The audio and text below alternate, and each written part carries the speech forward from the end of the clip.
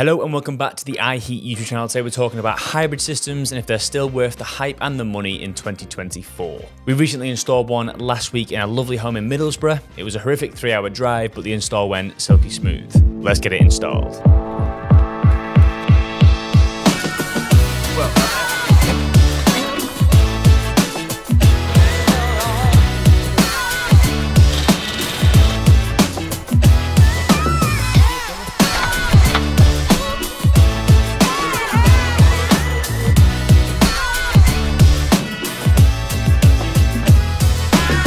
For those who don't know, a hybrid system is made up of a combi boiler which goes inside the property and an external air source heat pump. The model we installed on Friday was also from Alpha and it was a beautifully clean unit which goes on the side of the property and you can barely notice it.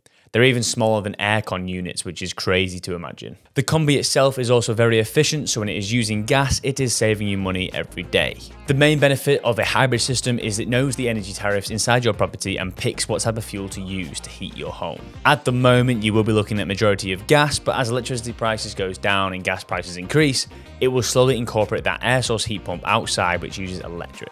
However, with the full introduction of heat pumps into the UK, is it still worth it in 2024? Sadly, there are no grants available for hybrid systems anymore. I'm pretty sure there was one in Scotland when they first came out, but they have since deceased for the new rise in full-size heat pumps. However, if you don't get the full grant from the government, it doesn't cover the full installation cost of a heat pump, you are probably better off buying a hybrid or just a normal gas boiler, as many will say in other videos. The hybrid acts as a midpoint between trying to be sustainable and be eco-friendly with the heat pump, but also be a bit smart and aware of the current situation with sticking with gas. In an ideal world, everyone would have a heat pump on the side of their house and still keep their old gas boiler for if it ever goes south or anything goes wrong electronically. Another benefit of having a hybrid system over a heat pump is that there is no need for any storage cylinders inside the property. One big thing that you do have to consider when getting a heat pump is where you're going to put that massive cylinder inside your home. Luckily, a job we did a few days ago was inside a garage. There was plenty of space for a cylinder, but not every home has a garage and not everyone wants to sacrifice that space where they should really be putting a car. The cylinder space normally needed for a heat pump is around 2 meters by 1 meter by 1 meter, which most common homes these days just do not have. By using a hybrid system, you only use a combi boiler for your hot water, which means it goes into your cupboard where a normal combi sits,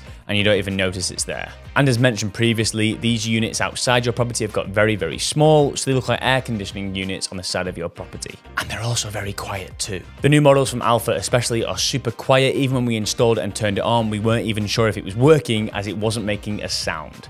These things are super quiet, and if you have any neighbors that are a bit annoying, don't really like you making a lot of noise, these will not get on their nerves at all. Another quite intelligent point I thought of when doing the research for this video is that it actually extends the life of your boiler.